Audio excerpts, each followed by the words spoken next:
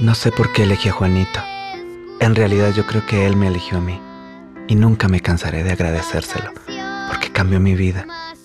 Juanito, ese lindo viejecito apareció cuando más lo necesitaba. Y así, desde muy chico aprendí que cuando la vida se vuelve amarga, siempre puede llegar alguien con una taza de chocolate que ayude a pasar el mal trago.